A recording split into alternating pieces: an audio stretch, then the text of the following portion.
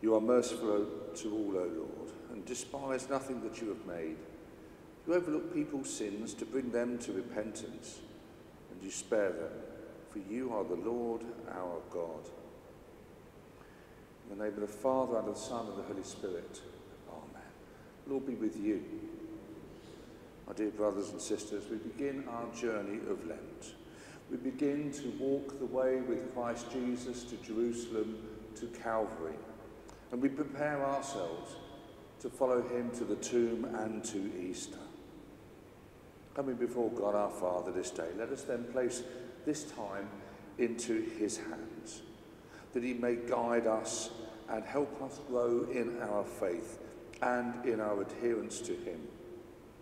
And may this Lent bring us to that joyful Easter tide and help us to revel in Christ's love for us. So let us pray. Grant, O Lord, that we may begin with holy fasting this campaign of Christian service, so that as we take up battle against spiritual evils, we may be armed with weapons of self-restraint. We make our prayer for our Lord Jesus Christ, your Son, who lives and reigns with you in the unity of the Holy Spirit, one God, now and forever. Amen.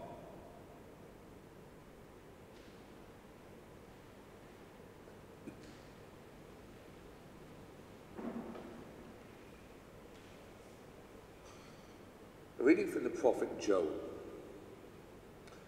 Even now, says the Lord, return to me with all your heart, with fasting, with weeping, and with mourning. Rend your hearts and not your clothing. Return to the Lord your God, for he is gracious and merciful, slow to anger, and abounding in steadfast love, and relents from punishing. Who knows whether the Lord will not turn and relent and leave a blessing behind him, a grain offering and a drink offering to be presented to the Lord your God. Blow the trumpet in Zion, sanctify a fast, call a solemn assembly, gather the people, sanctify the congregation, assemble the aged, gather the children, even infants at the breast. Let the bridegroom leave his room and the bride her canopy. Between the vestibule and the altar, let the priests, the ministers of the Lord, weep. Let them say, Spare your people, O Lord, and do not make your heritage a mockery, a byword among the nations. Why should it be said among the peoples, Where is their God? Then the Lord became jealous for his land and had pity on his people. This is the word of the Lord. Thanks be to God.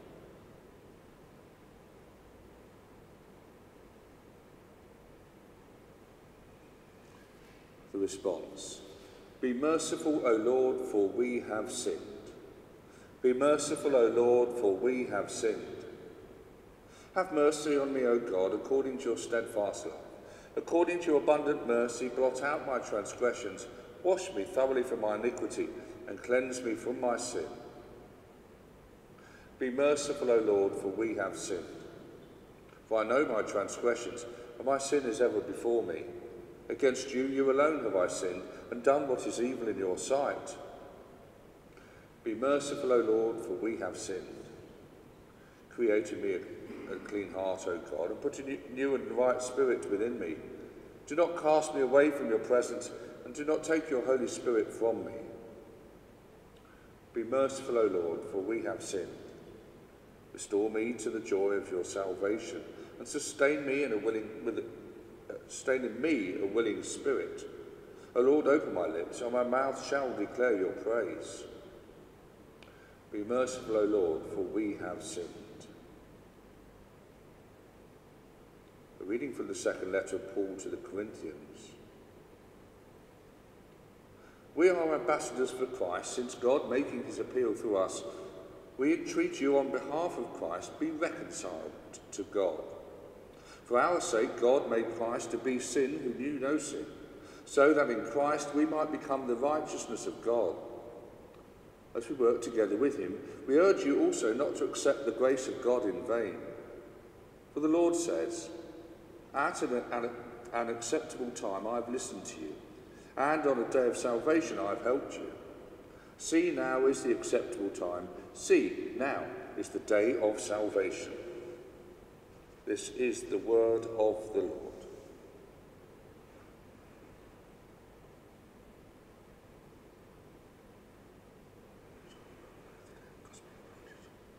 Praise to you, O Christ, King of eternal glory. If today you hear God's voice, harden not your hearts. Praise to you, O Christ, King of eternal glory. The Lord be with you. A reading from the Holy Gospel according to Matthew. Glory to you, O Lord.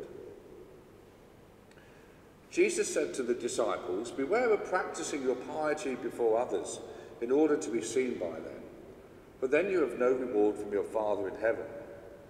So whenever you give alms, do not sound a trumpet before you, as the hypocrites do in the synagogues and in the streets, so that they may be praised by others. Truly I tell you, they have received their reward. But when you give alms, do not let your left hand know what your right hand is doing, so that your alms may be done in secret, and your Father who sees in secret will reward you. And whenever you pray, do not be like the hypocrites, for they love to stand and pray in the synagogues and at the street corners, so that they may be seen by others. Truly I tell you, they have received their reward. But whenever you pray, go into your room and shut the door, and pray to your Father who is in secret, and your Father who sees in secret will reward you. And whenever you fast, do not look dismal like the hypocrites, for they disfigure their faces so as to show others that they are fasting. Truly I tell you, they have received their reward. But when you fast, put oil on your head and wash your face, so that your fasting may be seen not by others, but by your Father who is in secret. And your Father who sees in secret will reward you. This is the gospel of the Lord. Praise to you, O Christ. Would you be seated? Please? Lent always throws up those little challenges as uh, I sit down to, to get things ready and looking at the liturgies and so forth. Um, even just then, you know, I, suddenly the announcement of the gospel's different, isn't it? And you go, hang on, is this the gospel? It's not using the A word. I'm not going to use the A word until I get to Easter. We replace that, we save that for a nice time. So all things like that. Is he started yet? I know I'm doing that. Get up! You know, it's, there's, there's lots of things at this time of year remind us that we are part of a cycle, um, a cycle of uh, liturgy and cycle of um, examining our relationship with God. Just the other day, as I was uh, bringing up the, the, the liturgy from last year, and uh, maybe I won't get into too many secrets now. Well, it's pretty obvious, really. When I'm looking at this year's services, I look at last year's to see what we did, um, and all the sheets and all the booklets online. As I brought up last week, last year's Lenten booklet, there on the front page, on the front of it was "Pray for Ukraine," and it started to make me think. Really started to make me think and it starts to make you think about what has happened over the past year. I think for us as Christians, Lent is a time of thinking and reflection, probably much more than Christmas. Christmas is all a panic about getting it right and doing the right thing and getting the turkeys in before they run out in the shop. You know, it's that kind of thing. But with Lent, it is a time of looking back at, at, the way that our lives have been and seeing that we can learn from them and look forward to the way that our life can be with, with our relationship with God made better. So to look back at what we did last year, and then I got interested and started to look back the year before that. We didn't do anything, we weren't allowed really. And then the year before that and so forth. And then to look back into 2018, 17, 16, I wasn't there all day, only took a minute or two. Um, to see how our prayers have changed and the world around us um, has moved and changed what was in our concerns year by year. Last year it was, of course, the beginning of the conflict in Ukraine that we were sh shocked about, and now we have other things to pray for as well, sadly, as the conflict in Ukraine.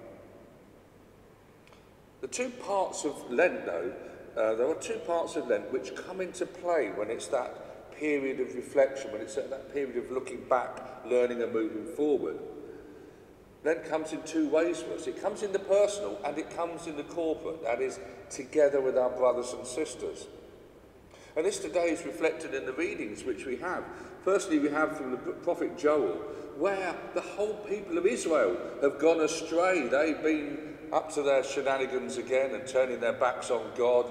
And when they turn their backs on God, then uh, foreign invaders come in and, and uh, run over them, uh, and eventually they're able to get their freedom again, and they give thanks to God for um, uh, Him liberating them from their oppressors. And here in Joel, we have this moment when the people of God uh, feel abandoned because collectively they've lost their faith in Him or they've tried other stuff out. And Joel comes along and says, Even now, says the Lord, even now when you are completely down and feel that you have no way forward as the people of God, return to me with all your heart. We have in Joel a call to the whole people of God to come back to him as one. It's important today that when uh, we, we come together and the ash, which is a symbol uh, that I'll mention in a moment, is placed upon your head, it is not placed upon just you personally, it's placed upon you as part of the body of Christ throughout the world. There will be people in every continent, in every country, speaking every tongue, in every culture, who are turning to God this very day and will be marked with the sign of the cross in ash this very day, along with you.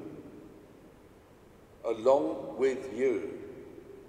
And today, we are reminded that we are part of the body of Christ. We are part of the chosen people who, yes, are capable of falling away from God but are still called back to God because He's a God of love, a God of forgiveness, a God of repentance.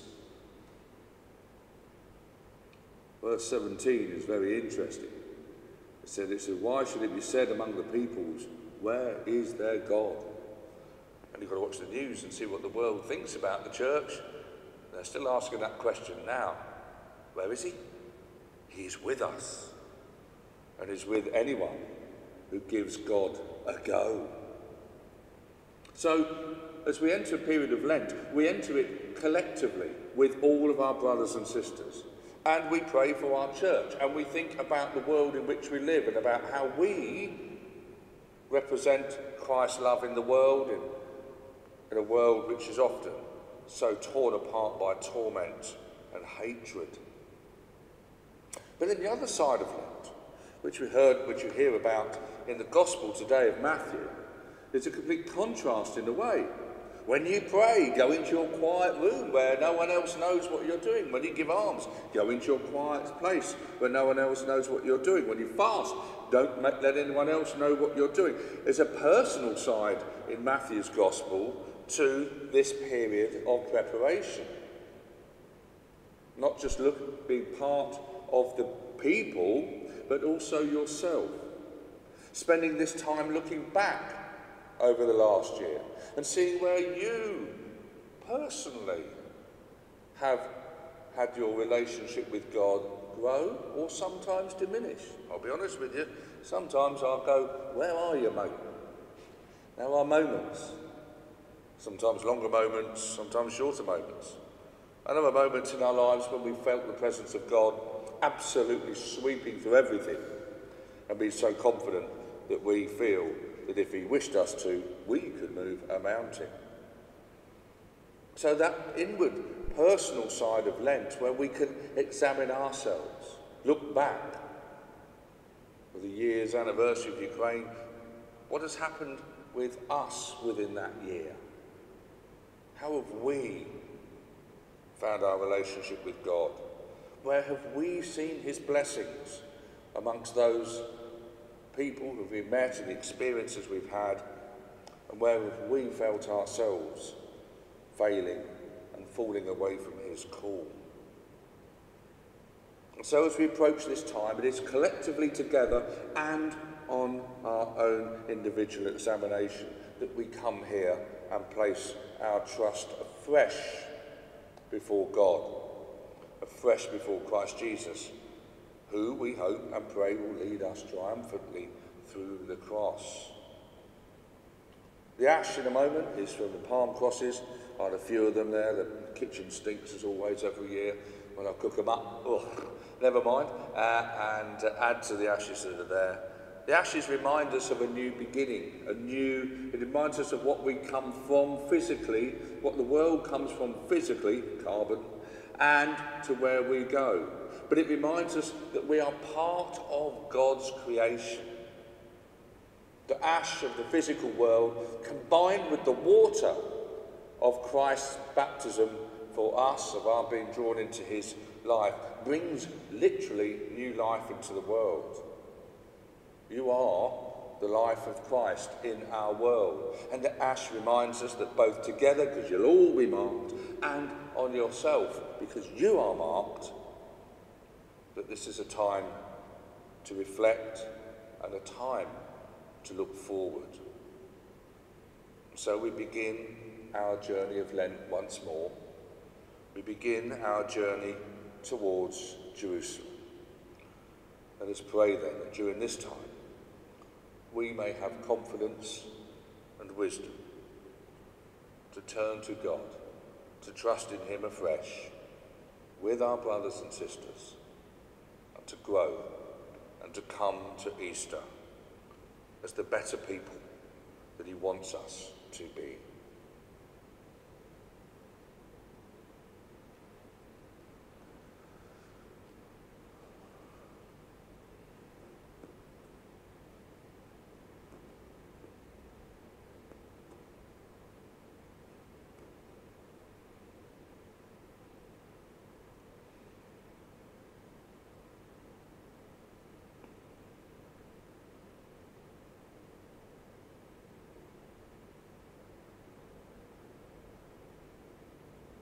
Would you stand, please? Dear brothers and sisters, let us humbly, humbly ask God our Father that he be pleased to bless with the abundance of his grace these ashes which we will put on our heads in penitence.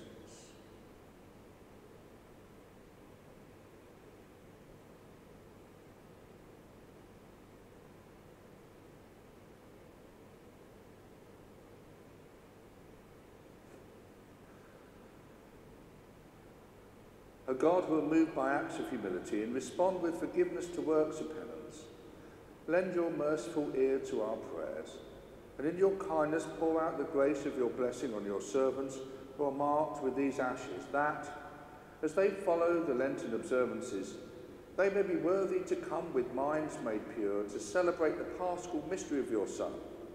We ask this through Christ our Lord. Amen.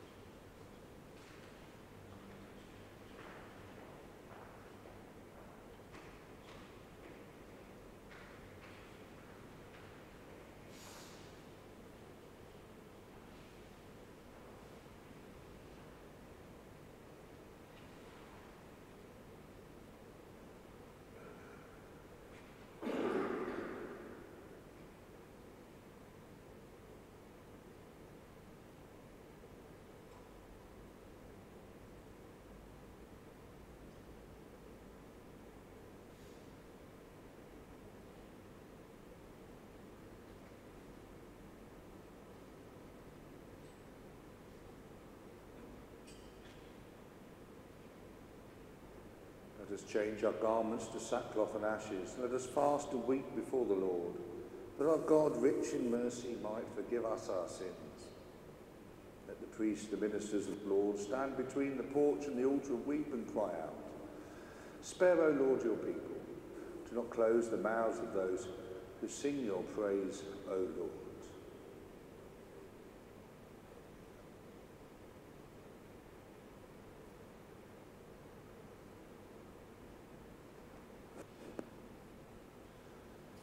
Lord Jesus Christ, you said to your apostles, Peace I leave you, my peace I give you. Look not on our sins, but on the faith of your church, and graciously grant a peace and unity in accordance with your will for ever and ever. Amen. The peace of the Lord be always with you, and also with you.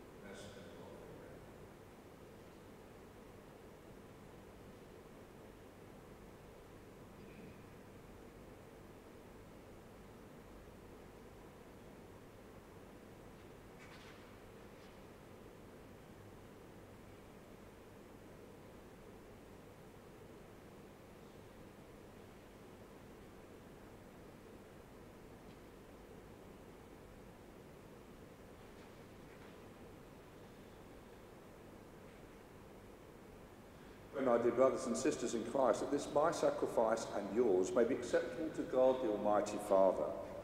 May the Lord accept the sacrifice at my hands for the praise and glory of his name, for our good and for the good of all his church. May the sacrament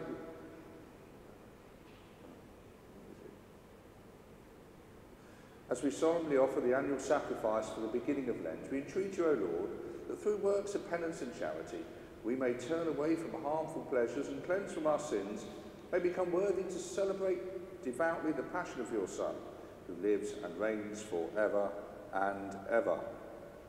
Amen.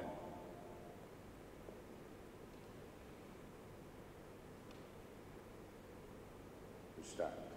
The Lord be with you. Lift up your hearts.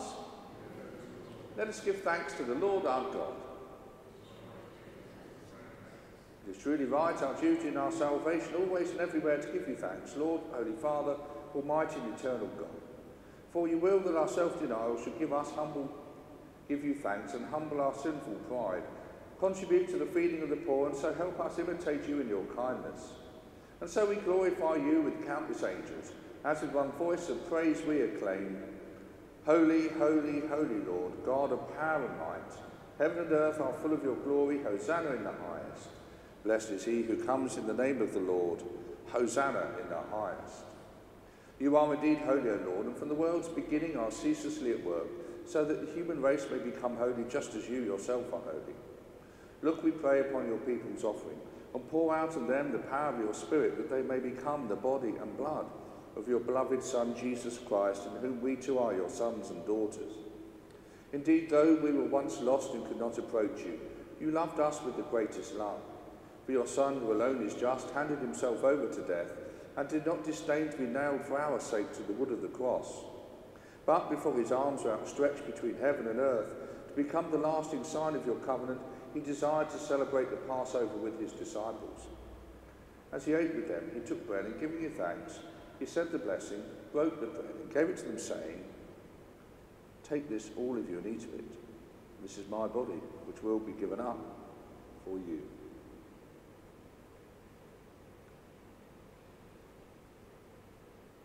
A similar way, when supper was ended, knowing that he was about to reconcile all things in himself through his blood to be shed on the cross, he took the chalice filled with the fruit of the vine, once more giving you thanks, handed the chalice to his disciples, saying, Take this, all of you, and drink from it. This is the chalice of my blood, the blood of the new and eternal covenant, which will be poured out for you and for many for the forgiveness of sins. Do this in memory of me.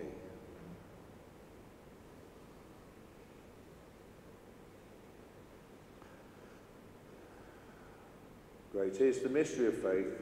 Christ has died, Christ is risen, Christ will come again. Therefore, as we celebrate the memorial of your Son, Jesus Christ, who is our Passover and our surest peace, we celebrate his death and resurrection from the dead and look forward to his blessed coming. We offer you, who are our faithful and merciful God, the sacrificial victim who recon reconciles to you the human race. Look kindly, most compassionate Father, on those you unite to yourself by the sacrifice of your Son, and grant that by the power of the Holy Spirit, as they partake of this one bread and one chalice, they may be gathered into one body in Christ who heals every division. Be pleased to keep us always in communion with mind, of mind and heart, together with Paul, Robert, James, our bishops. Help us to work together for the coming of your kingdom, until the hour when we stand before you, saints among the saints in the halls of heaven, with the Blessed Virgin Mary, Mother of God, with the blessed apostles, Bartholomew, Mark, and Mary of the Cross, and with all the saints, and with our deceased brothers and sisters, that we humbly commend to your mercy. Then freed at last from the wound of corruption and made fully into a new creation, we shall sing to you with gladness the thanksgiving of Christ who lives for all eternity. Through him and with him and in him, O God Almighty Father, in the unity of the Holy Spirit, all glory and honour is yours, for ever and ever. Amen.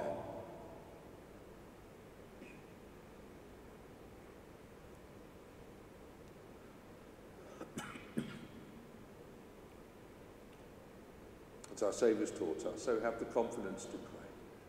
Our Father, who art in heaven, hallowed be thy name. Thy kingdom come, thy will be done on earth as it is in heaven.